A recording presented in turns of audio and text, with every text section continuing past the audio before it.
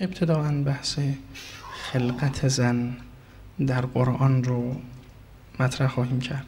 اونگاه سرنوشت زن در تاریخ به روایت قرآن. موضوع سوم ارزش و و مقام زن در اسلام خواهد بود. چهارم نقش های ویژه زن در زندگی. پنجم ویژگی های حقوقی و فقهی بانوان محترم ششم الگوهای مثبت و منفی زنان در قرآن هفتم زنان انسوئی و بهشتی یعنی زن در جهان آخرت هشتم کاملترین الگوی زن در قرآن کریم که بدون هیچ تردیدی باید گفت صلی الله علیه یا فاطمه الزهرا اعوذ بالله من الشیطان الرجیم. بسم الله الرحمن الرحیم ولا حول ولا قوة الا بالله العلی العظیم و اللهم علی سیدنا محمد اللهم صل علی محمد و محمد و علی اهل بیته الطیبین الطاهرین الهدات المهدیین المنتجبین سیما بقیت الله فی السماوات و الارضین توفیقی است الحمدلله قسمت دیگری از مجموعه مباحث و سلسله گفتار زن از منظر قرآن کریم رو بررسی می‌کنیم. در چهارمین بخش از مجموعه این مطالب که نقش های ویژه بانوان در قرآن کریم است به قسمتی الان تأمل خواهیم کرد و نگاه می‌کنیم که بخش مادری زنان در قرآن است. نسبت به این جایگاه خاص و این رسالت مسئولیت و هنری که خداوند بر دوش زنان نهاده است دو سه نکته بسیار مهم در قرآن وجود دارد. می توان گفت که اولین گذرگاه و اولین نکته همون مقام رفیع مادر است. در آیات شریفه قرآن. منتها در قرآن کریم ابتداعا به شکل کلی نسبت به مادر و پدر توجه شده است تحت عنوان والدین که کاملا مشخص اینجا یه سهم و بهره مساوی و برابری رو پدر و مادر در نوع این آیات در قرآن دارند. این یک قسم از آیات شریفه قرآن در مورد مادر است که مشترکن با پدر خداوند این آیات رو مطرح میفرماید و این حق و این موقعیت مهم رو تذکر میده. چون شروع کار از همونجاست من یکی دو آیه از این باب همین نمونه های مشهورتر این آیات رو البته تعداد آیات هم مشخصه حدود چهار مورد در قرآن کریم. من یه اشاری به این قسمت می‌کنم و اونگاه شکل خاص اون رو در زیباترین این آیات سوره مبارکه اسراء آیه 23 و آیه 24 است. فرمود و غذا ربک ان لا تعبدوا الا ایاه. خداوند حکم قطعی کرده است که جز او پرستش نشود و فقط او معبود آدمیان و جهانیان باشد چون معبودی جز خداوند نیست. لا اله الا هو. به دنبال اون فرمود و بالوالدین احسانا. و خداوند حکم کرده است که به والدین احسان باشد. خب این بالوالدین همینطور که اشاره کردم در عنوان کلی بحث والدین جمع والد و والده است. یعنی این دو رو با هم ترکیب می‌کنیم تصریه میشه. میشه والدین والد و والده پدر و مادر. و بالوالدین احسان. کلمه احسان هم به معنای نیکویی کردن و نیک رفتار بودن است. توصیه می کند خداوند یعنی حکم می کند قطعا که باید این چنین باشد.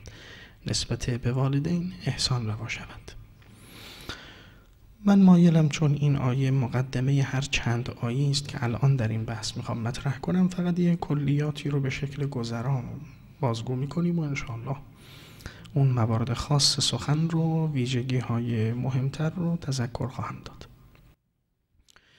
اولا این کاملا دیده می شود در قرآن حساسیت خداوند نسبت به مقام پدر و مادر با هم. همون تعبیر والدین. در حدی که ملاحظه میفرمایید در مانند این آیه شریفه بعد از حکم به یگانگی و وحدت و عبادت خاص خداوند تنها چیزی که اینجا مثل اینکه شایستگی مطرح شدن دارد. اون هم پیوسته با نام خداوند مقام شامخ والدین است. لذا خداوند این دو رو مطرح می کند و بالوالدین احسان. چرایی و چونی این بحث رو ما در گفتارهای تفسیری مفصل مطرح کردیم؟ در همین حد بسنده می کنم که علت این که نام والدین در کنار نام خدا مطرح می شود در قرآن. یا شکر پدر و مادر. سپاسگزاری از اینها در کنار سپاس از خداوند مطرح می شود. انشکر لی ولوالدیک.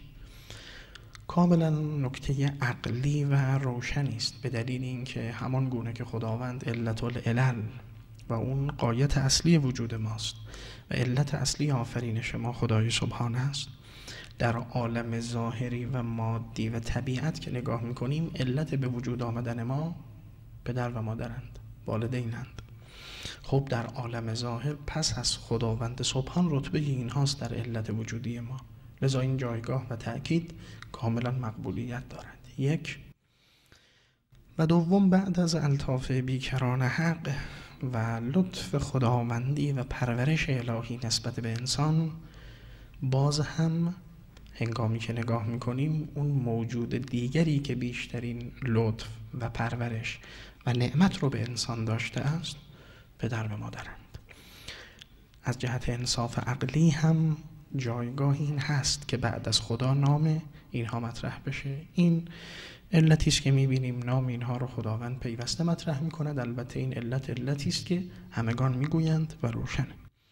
بنده اینجا اعتقاد دیگری دارم که مکمل و شاید تلطیف کننده این بحث است و این علت.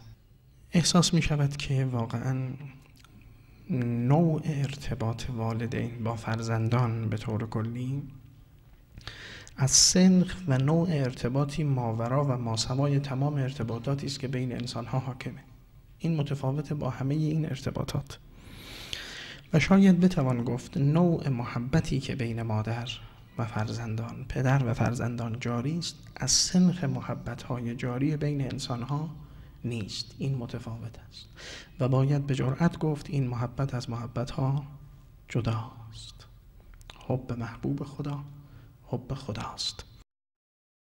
همان گونه که نوع محبت خدا به بندگانش متفاوته مثل اینکه نمونه عالی و تمام محبت خدا رو اگر در میان خلق بجوییم این رو در شخصیت والدین و محبت اینها به فرزندان می‌توانیم بیابیم و جستار کنیم. به این دلیل که خداوند اگر محبت و لطف به انسانها دارد محبت الهی یک سویه است. یعنی فقط از ناحیه خداوند خیر جاری است برای بندگان و متوجه اینها می شود ابتداعا. همچنین هنگامی که دقت بیشتری می‌کنیم می‌بینیم لطف الهی در شرایطی است با آدمیان که بیشترین حاجت و نیاز رو دارند. هنگامی که انسانها در اوج حاجتند امن یجیب المستر اذا دعا و یک شخصو لطف حق شامل حال میشه و انسان رو در تمام اون پست و بلندی ها و زیر و بم ها کمک می‌کند یاری می‌کند و به در میآورد از مشکلات. ناتوانی انسان رو تبدیل به توانایی می‌کند. سوم این که رابطه انسان با خداوند رابطه است که هیچگاه قطع شدنی نیست اگر انسان مایل باشد. یعنی در هر شرایطی که آدمیان بدی درشتی زشتی با حق می کنند اما اگر تصمیم بازگشت داشته باشند می‌بینید که راه گشوده است و هیچ مانعی نیست برای برقراری این ارتباط. این سه نکته ای که ارز کردم دقیقا در محبت بین والدین و فرزندان وجود داره نه جای دیگری. یعنی نوعا در ارتباطات غیر ارتباط والدین و فرزندان. تصور کنید ارتباطات درون خانواده ای مانند ارتباط برادر و برادر خواهر و برادر زن و شوهر دوست و دوست. یه قاعده اینجا وجود داره که این رو در حقوق میگن در فقه هم میگن. اینو میگن قاعده تهاتر. تهاتر یا می‌توانید بگید تقابل. یعنی حقوق با هم تقابل دارد. وقتی که این برادر حق رو عمل نمی کند خب اون هم عمل نمی کند و بعد می‌بینید در شهر میگن حقوق با هم تساقط پیدا می‌کنه ساقط میشه حقوق نسبت به یکدیگر. اما در رابطه با والدین اینطور نیست. اصلا این بحث تهاتر و تقابل نیست در اینجا. اولا می‌بینیم که واقعا محبت والدین به انسان محبت پدر و مادر مایل نیستم الان تأکید بیشتری بر روی مادر داشته باشم اما ناچارم می‌رسیم به اون آیات. مخصوصا محبت مادر نسبت به انسان یه محبتی است که حقا اسمشه یه طرف است. به تعبیر همون قدیمی های خودمون که می‌گفتند فرزند فارغ است و مادر عاشق واقعا این ملموس و محسوسه. خب اون محبتی که همه از یه سو کشش و از اون طرف گاه به یه جایی می‌رسد که گریز حتی عدم اون جذب. این نوعی است از محبتی که حق به ما دارد. یه شعبه و شاخه است از این دوم. شرایط محبت والدین به فرزندان وقتی است که ضعیفترین و نالانترین و بیخاصیتترین شرایط رو ما انسان ها داریم. یعنی اون حالت حالا بعد از ایام به اصطلاح نوزادی و بعد حالا جنین بودن و بعد نوزادی و اون حالت نیاز و اون حالت ضعف و تون کودک از مگس رنجی و تمام این شرایطی که دیگران نمی‌توانند دقایقی رو تحمل کنند با تمام عشق و شور و محبت این والدین این فرزند رو تحمل می‌کنن و مورد محبت خودشون قرار میدن. سوم هم والدین هرگاه فرزندان از اونها میگریزند دیگه نمیبندن در رو. باز آمادن که یه روز اینها برگردن. میگن بازا بازا. هر آنچه هستی بازا. یعنی اینها پذیراین در هر شرایطی فرزندان خودشون رو. و حالی که زن و شوهر این چنین نیستن. به یه جایی که برسد به تعبیر آمیانه می‌گویند مهرم حلال جانم آزاد. نه. شیر شطور خواستیم نه دیدار عرب راحت. آب سر نمی‌خوام به تعبیر آمیانه. و دیگه اینجا می‌گویند برای کسی جان بده تب کن که برای تو بمیرد. اما والدین هیچ وقت این حرف رو نمی‌زنن. اونها این حرف رو ندارن. واقعا ارتباطات دیگه هم از همین نوع ارتباطه. با همین قواعد مردم با هم دوستی می‌کنن. وقتی دیدند پاسخی در دوستی نمی‌بینند اونگاه متوقف می‌کنن محبت رو. اما والدین این چنین نیستن.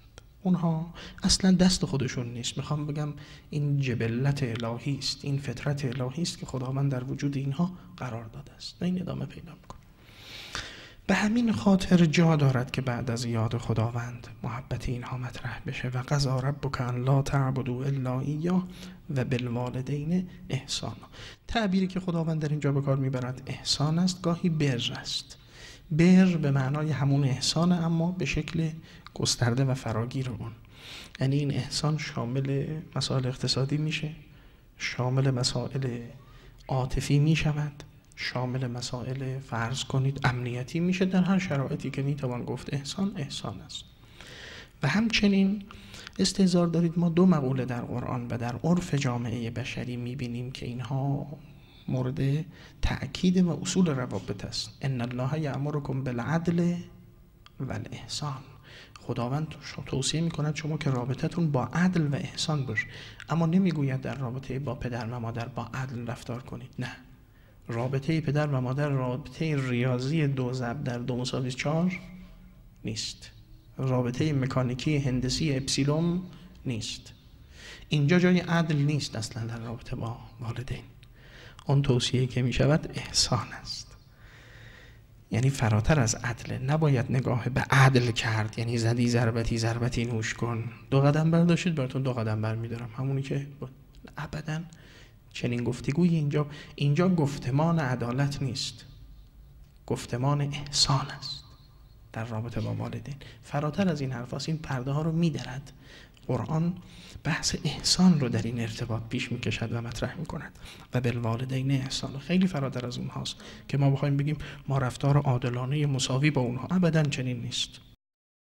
اما یبلغن عندک الکبر اگر احیانا رسیدن یکی از این تو در از این دو پدر و مادر در نزد تو احدهما او کلاهما یکیشون یا هر دوشون.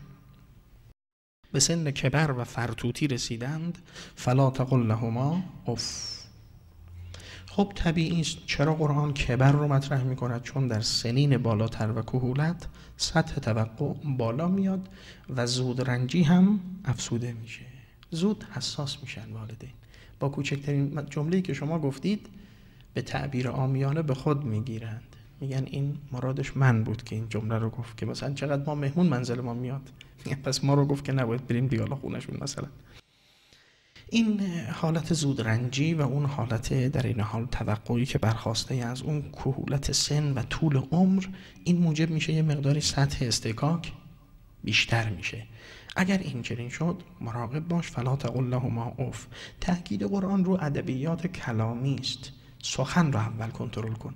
چون اختلافات ابتدا از چه برمیخیزد؟ از گفتارها و سخنان برمیخیزد. فلا تقل لهما اوف. این رو کنترل کن. به این اوف یعنی چه؟ یعنی همین کلمه پارسی که شما میگید اوه حوصله داری مثلا. همین کلمه. همین شما میگید. یعنی این اعلام ناراحتی این چنینی با احساس. این میشه اوف. ولا تقل لهما اوف.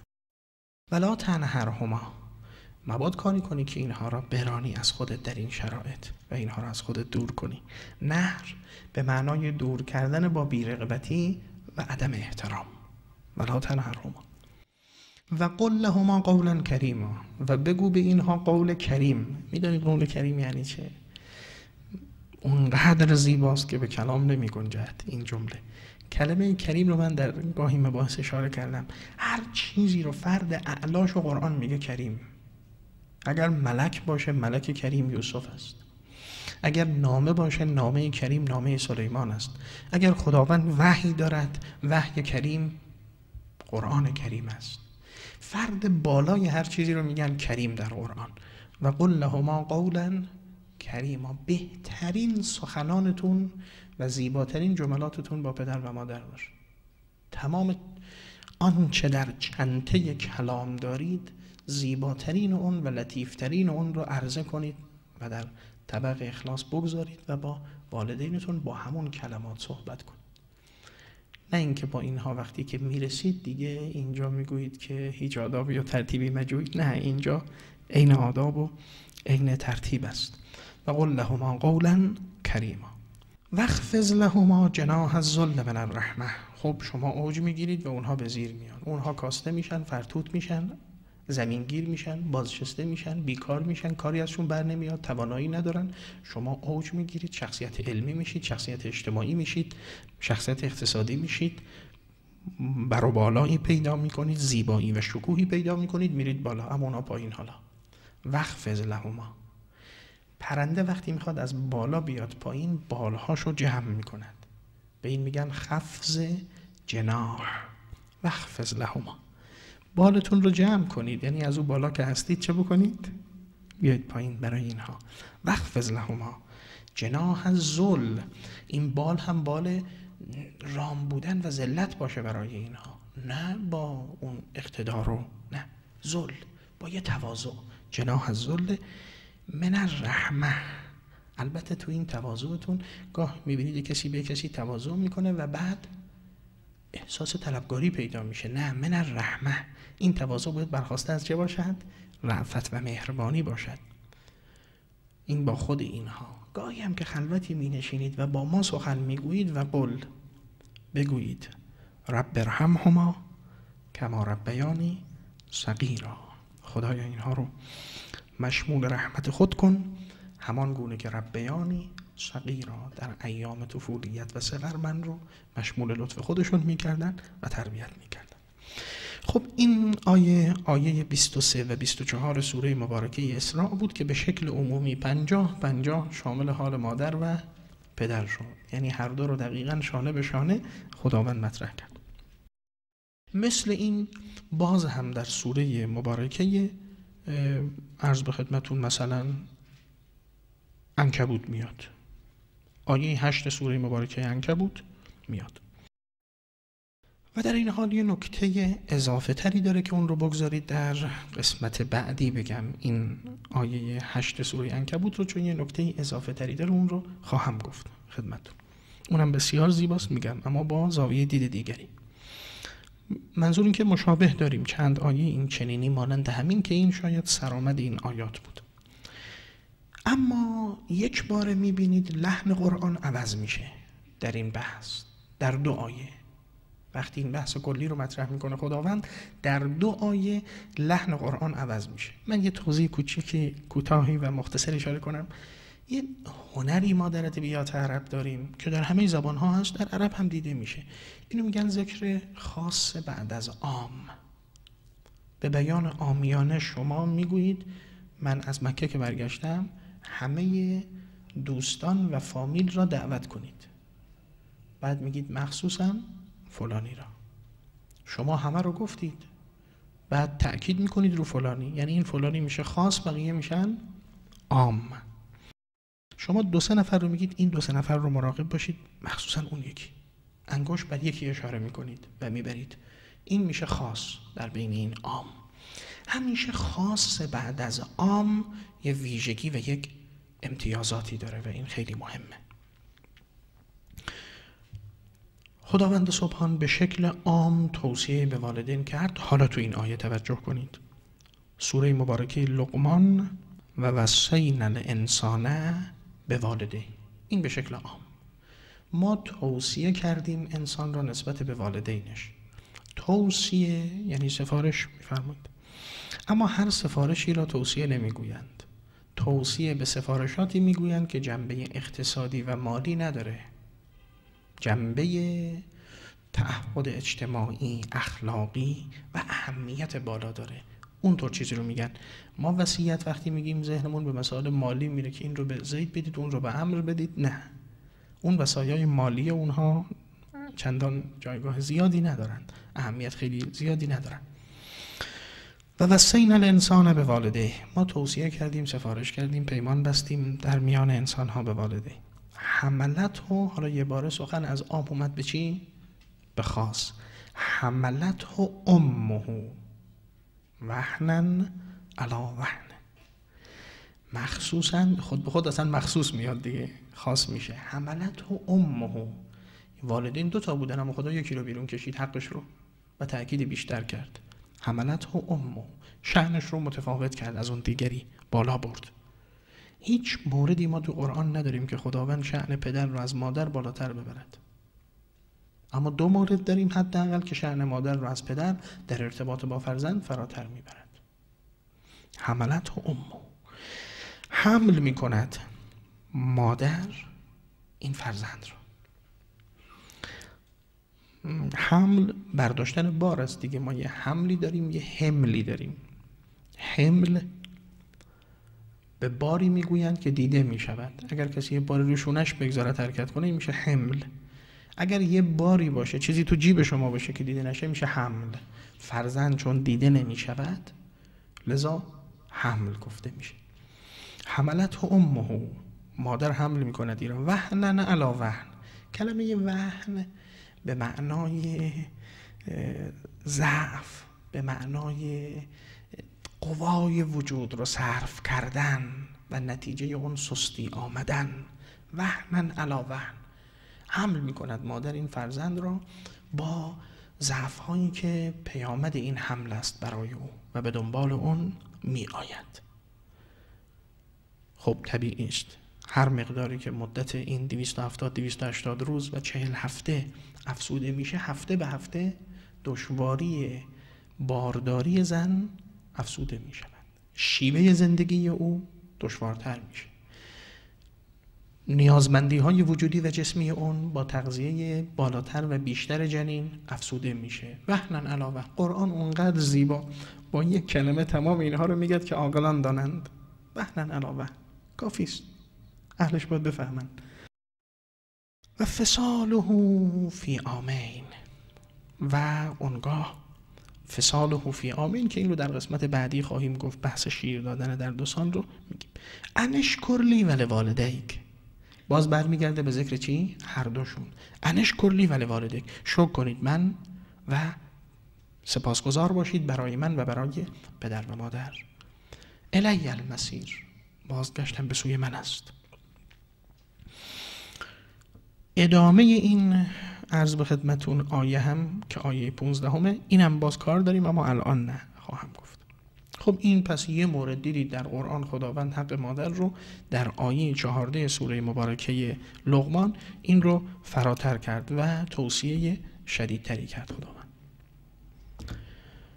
همچنین در آیه پونزده سوره مبارکه احقاف سوره احقاف آیه پونزدهم. باز و وسین الانسان. ما وصیت کردیم انسان را به والدیه احسانا. خب اولا به شکل عام میاد.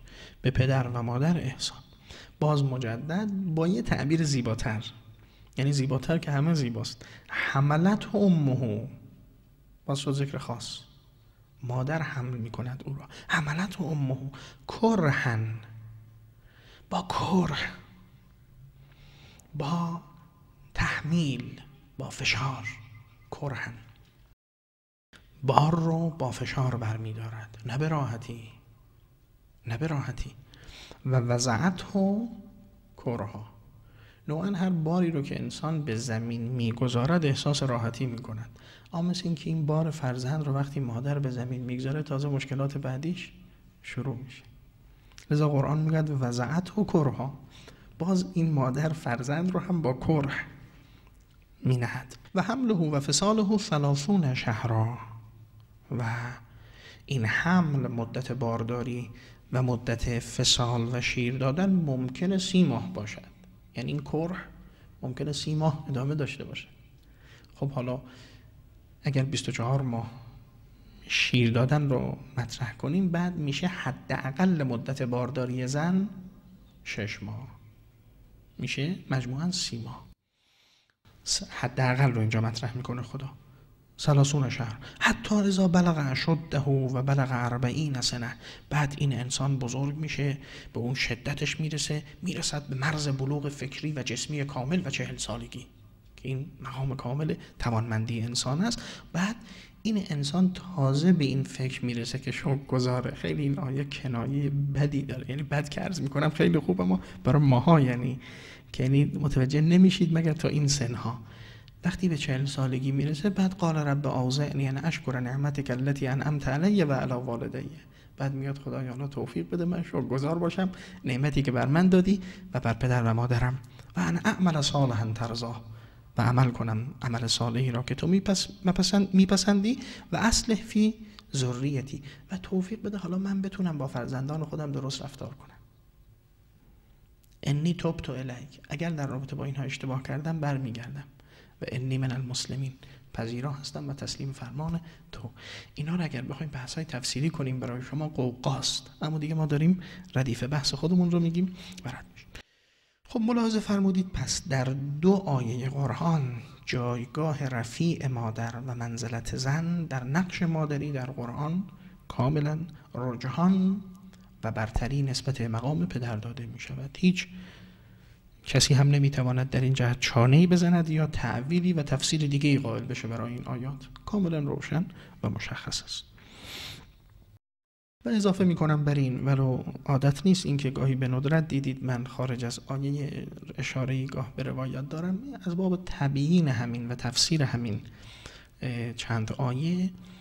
در روایات و در توصیه های پیشوایان دین و پیامبر مکرم اسلام هم کاملا این تفاوت دیده میشه. یعنی همون جمله معروفی که آمد نزد پیامبر و گفت دوست میدارم که من نیکوکار باشم. به چه کسی احسان کنم تا خداوند بیشتر به من توفیق دهد؟ به چه کسی محبت کنم زودتر نتیجه اون به من برمیگردد؟ همون گونه که می‌دانید پیامبر فرمودن بر رو که امک برو به مادرت احسان کن. تکرار کرد دوباره همین رو فرمودن سه باره همین رو فرمودن در مقام چهارم فرمودن بر رو که عباک حالا به پدر هم برس. پیامبر سه بار مادر رو گفتند و یک بار در نهایت پدر رو. اتفاق همه محدثینه. یعنی واقعا این رابطه رو رابطه سه و یک پیامبر این رو ترسیم کردن که این تفاوت مقام مادر با پدر می شود نسبت به فرزندان و رفتار اونها. یه دو جمله کوتاه زیبا هم هست من اینها رو میگم در رابطه با همین بحث که خیلی جالب است از نظر بنده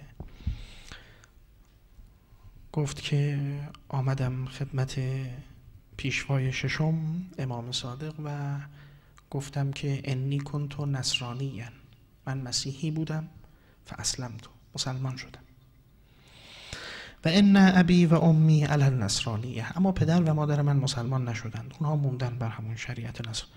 و اهل بیتی اونها موندن بر همون نصر. اما و امی مکفوفت البصر مادرم نابیناست.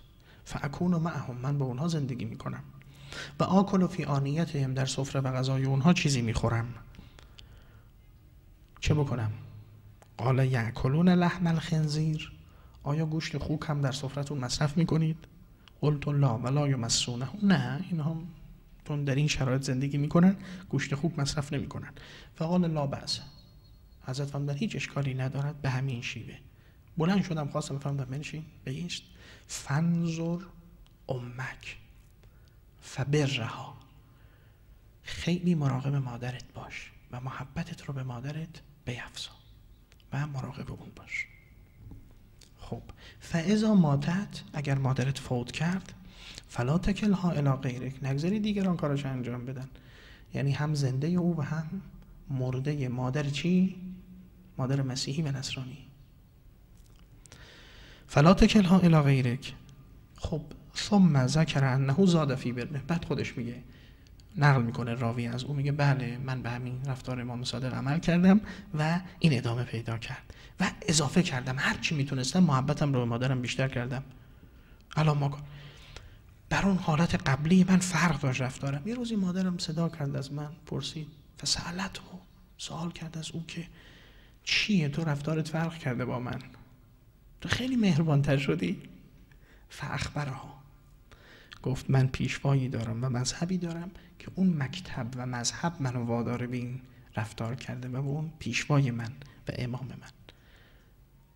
که فاخبرها ان صادق امره که امام صادق منو به این دعوت کردن فاسلمت. اونگاه اون پیرزن و مادر نصرانی مسلمان شد. و مشرف شد به اسلام با این توصیه و رفتار و زیباست در که قال موسی یا رب آوسنی وقتی موسی در مناجات گفت خدای منو وصیت کن. قال اوسی که بک ایسا برو موسی برو خودتو بشناس و خودت رو برو دقیق بشناس و آگاه باش. سلاس مرات سه مرتبه خداوند گفت. باز قال یا رب اوسنی. قال اوسی که به امک. بعد از شناخت خودت و وظایفی که به خودت داری بین خودت و خدا مادر. مرتین. دو مرتبه گفته شد. یا رب اوسنی برای مقام سوم اوسی که به عبیک نسبت پدر هم وظایفت رو انجام بده و توصیه می‌کنم که با او چنین و چنان باش زبان پیشوایان دین هم زبان قرآن است. اونها هم همین خط رو و همین ذکر خاص بعد از عام رو تذکر میدن و این نکته کاملا اثبات کننده جایگاه رفی و تفاوتی است که در مقام پدر و مادر در قرآن کریم دیده می شود نسبت به فرزندان.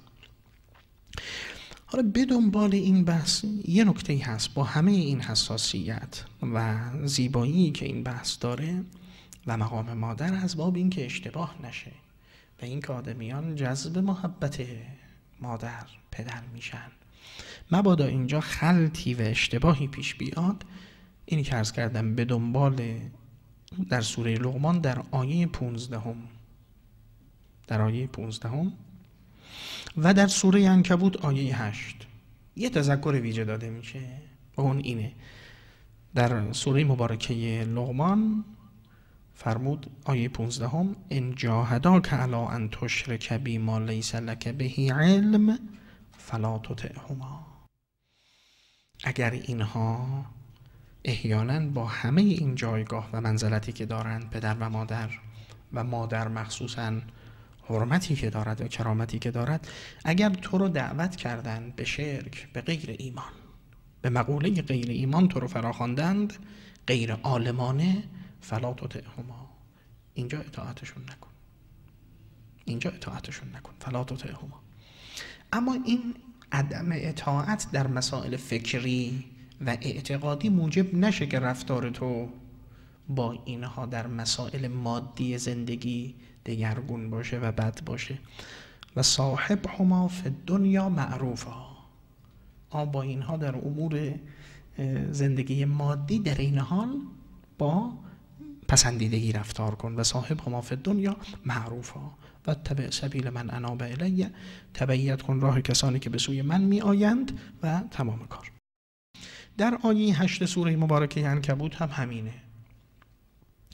و وسین الانسان به والده حسنا. ما این توصیه رو کردیم. اما و این جاهدا که لتشرک بی ما لیس لک بهی علم.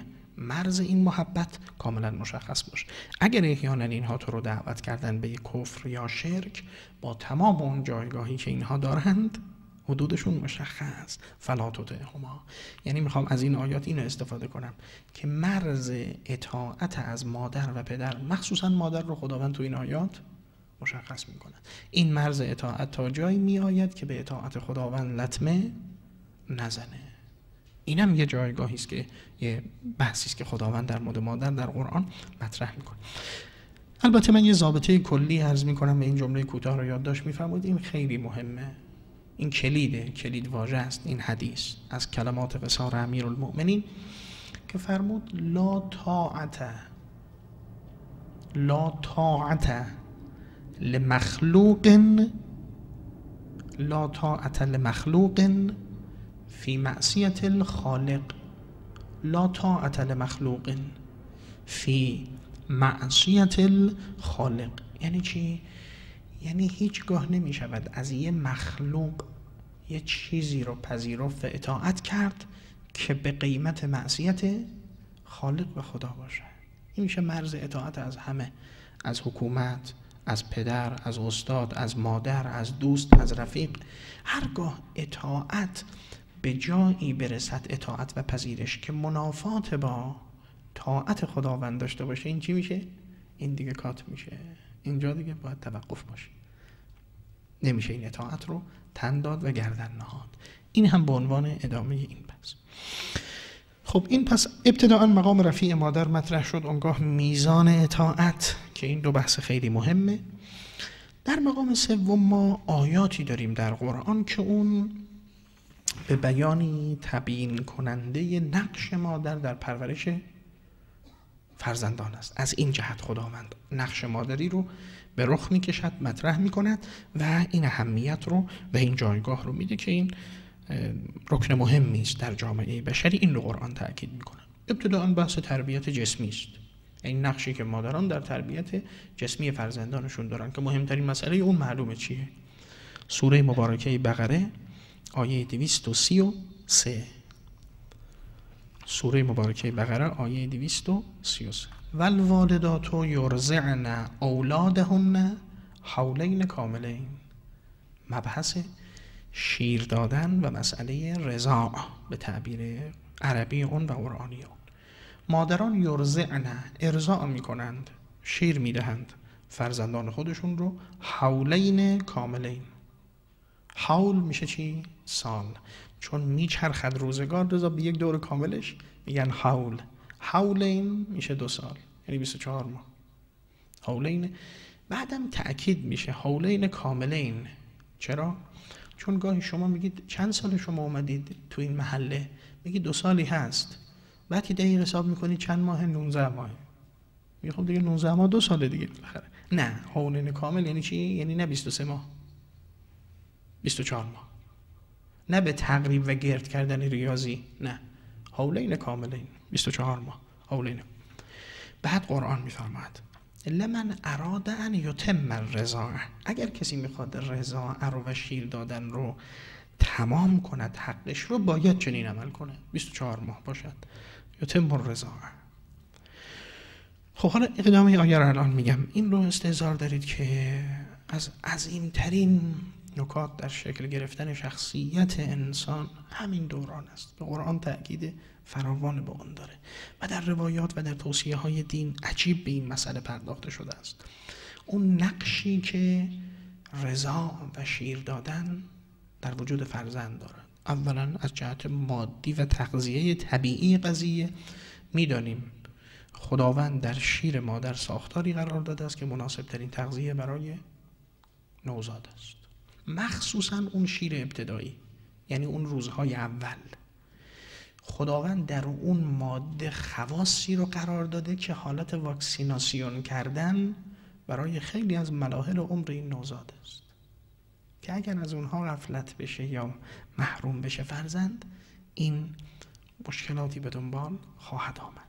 بعد هم بقیه ایام رسول و این هم توجه داشته باشه شیر هر مادری مناسب ترین تغذیه برای فرزند خودش.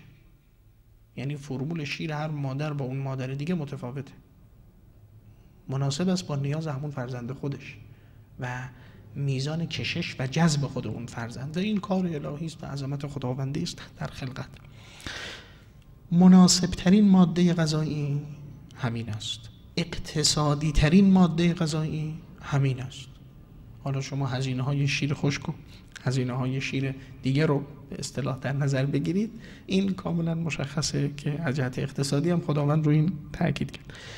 و از جهت حفظ نگاه داری بالاخره شما این تغذیه که می‌خواد شیری که می‌خواد به فرزند بدید حالا این باز زمان مصرفش گذشته باشه نگذشته باشه این سفر هزار بتونن حفظش کنن. پاستوریزه باشه نباشه. اما خداوند یه جوری به مادر توان داده که شیر پاستوریزه هموژنیزه همه چی همراه خودش تو وجودش حفظ می‌کند و به زمان و به وقت کامل به وقت مورد نیاز تولید میشه استفاده میشه تمام همه این جوانب تو این قضیه حفظ شده و نگاه شده.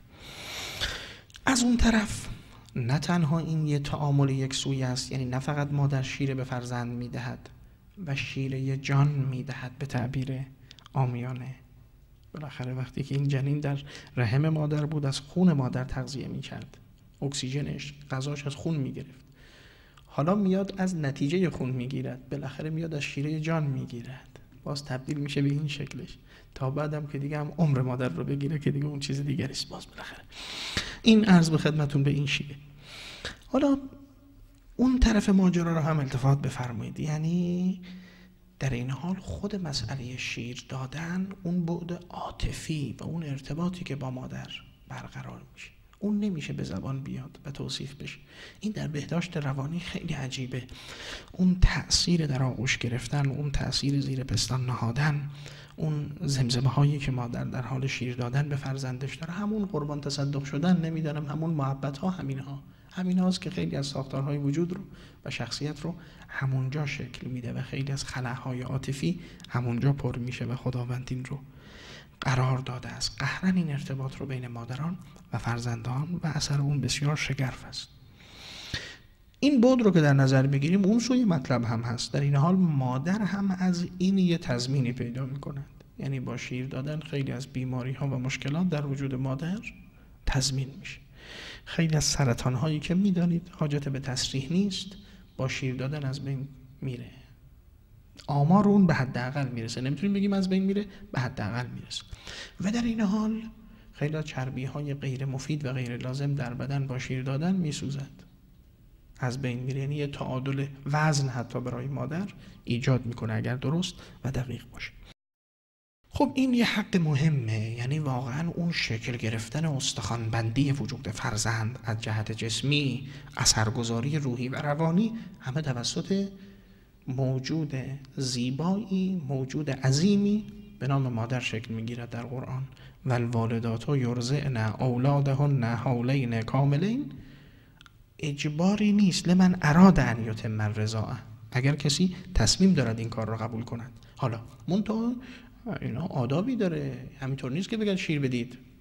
حالا قسمت بعدیش هم توجه کنید چقدر قرآن ظریف مطرح می‌کند. و علل مولود له رزقهن و کسوتهن بالمعروف. و من یه جمله قفلت کردم بگم. اینو اضافه کنم تو این قسمت بعد ادامه آیه رو بگم. و اون اینه. حالا گاه ممکنه مرزعه باشه. یعنی مادر شیر نمی‌دهد دیگری شیر می‌دهد. اینجا قوقاس مطالب روات که وقتی اونا رو می‌فهمیم بعد می‌فهمیم شیر دادن مادر یعنی چه و چه خصوصیاتی دارن.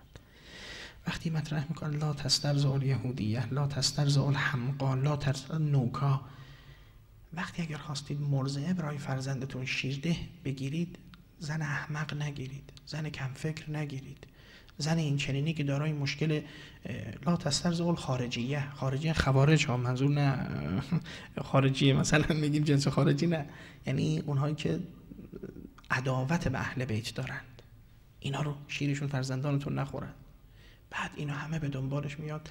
ف... یه جمله دقت کنید. فان لبنه یعدی شیر تمام خصوصیات را منتقل می‌کند به این فرزند. پس بذارید چیزایی منتقل بشه که بهترینش باشه. یعنی مادر داره دقیقا انتقال میده خصوصیات خودش رو از این قالب به فرزند و خیلی مهمه. خب فرمود و علل مودول له رزقهن و کسوت حالا در این ایام مادر که می‌خواد شیر بیده ممکنه احتیاجات بیشتری داره غیر از موارد عادی. اینجا وظیفه مرد است که آستین بالا بزند و این نیازها رو صد درصد تأمین کنه.